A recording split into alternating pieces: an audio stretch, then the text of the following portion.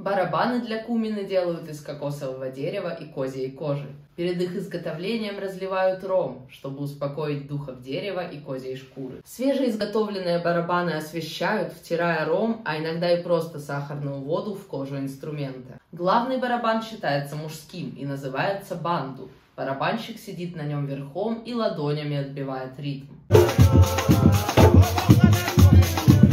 Второй игрок сидит сзади барабана и исполняет другой ритм на боковой стороне инструмента. Для этого он использует специальные палочки, которые называются катати.